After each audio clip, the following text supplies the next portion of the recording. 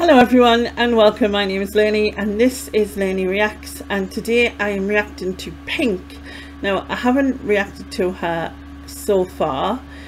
I love Pink and had her first album and absolutely love her um, and I thought she was amazing and still think she's amazing. Um, this has been requested from Australian Idol. Um, it's Pink singing Sober, um, which I believe, um, well, I haven't seen this live version from Australia Idol, um, Australian Idol, I should say, um, but I do know the song, but yeah, let's press play.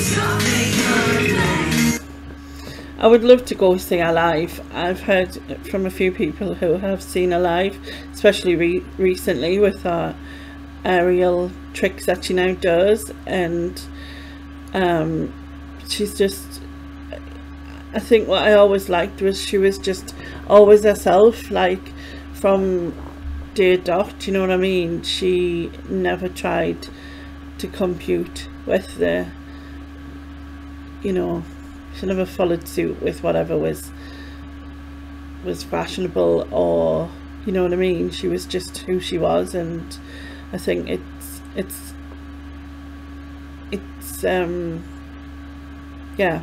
I always feel like people who can just do that uh, especially when you're young um is what's the word I'm looking for? Um like you know what I mean? When when you're young and impressionable and yeah it's cool that you can just be you and not care really what other people think which is what everyone should do you know what I mean? But and I, that's what I'm saying it's hard especially when you're younger. Like now I don't care but when I was younger I did. Um anyway let's press play